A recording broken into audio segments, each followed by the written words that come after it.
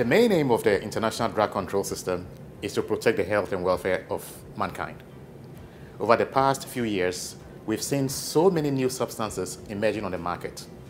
Some of them have shown to be very harmful, resulting in hospital emergency admissions and fatalities. And some of them are even been used in driving. It is important to be able to identify the ones which are harmful.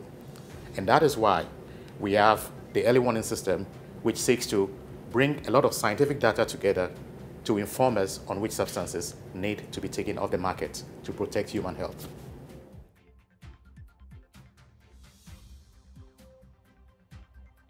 With 1,000 substances, the international community has to be prudent. We cannot control a 1,000 substances, but we can be able to find the ones which are harmful. And by focusing on that, we are able to protect the health and welfare of mankind in a very timely way.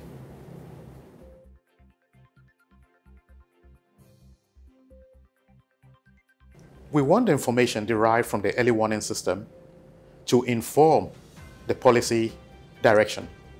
We also want it to inform the law enforcement and health responses to the problem.